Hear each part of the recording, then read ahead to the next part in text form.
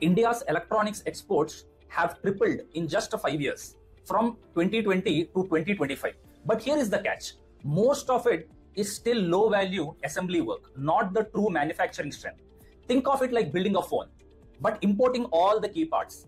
India is strong in assembling passive components like wires and resistors, but still imports active ones like your semiconductors, PCBs, and chips.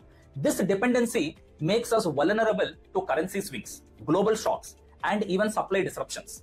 That's why the government's new component manufacturing scheme is a big deal. It's like PLI 2.0 that pushes India more deeper into the value chain, not just assembling but creating the components within India.